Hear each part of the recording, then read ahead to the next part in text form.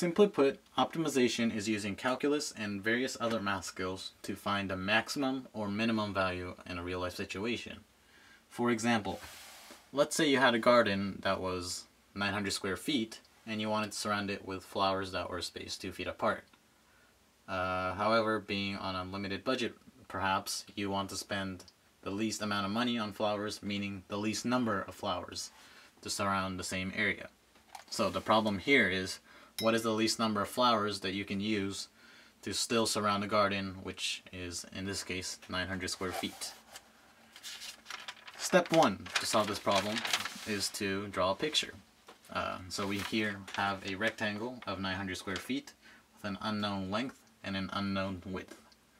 Uh, and we are going to find a perimeter because we are surrounding the garden with flowers, so surrounding the box with flowers, hypothetically.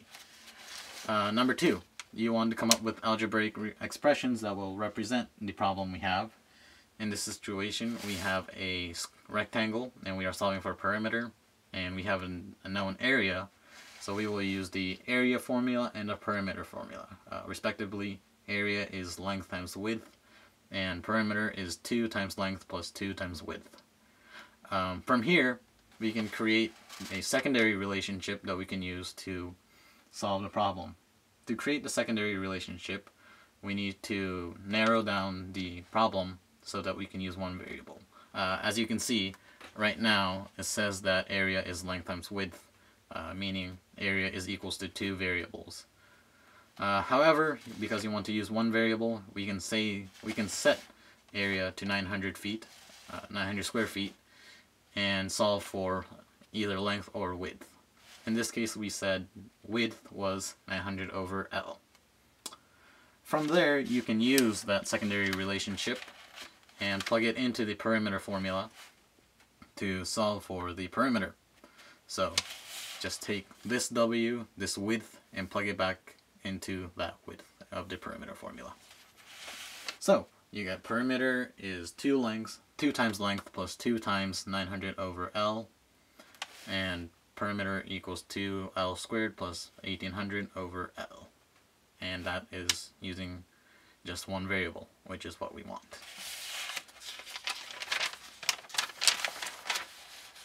Step 5. You want to take the derivative of this problem uh, of the perimeter in this case, and doing so, we will be able to find the minimum later on.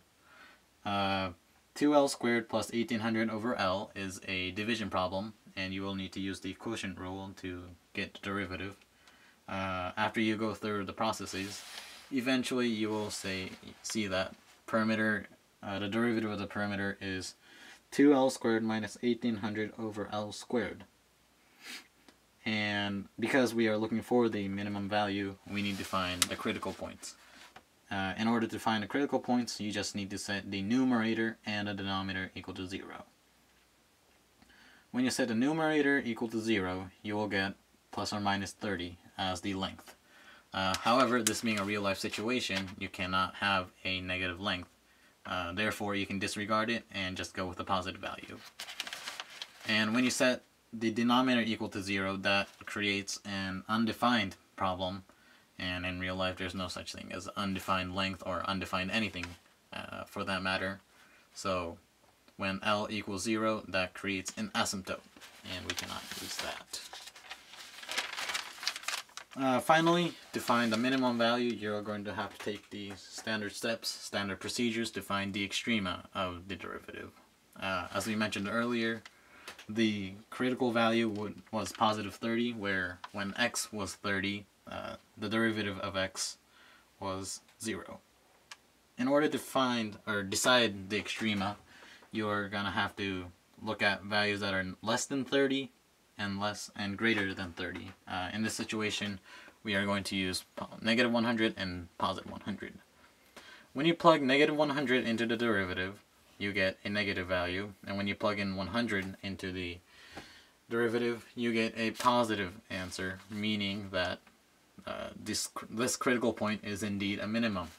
Uh, so this is gives the answer to the problem, which was the least number of flowers you can use to solve or to surround the area of the garden.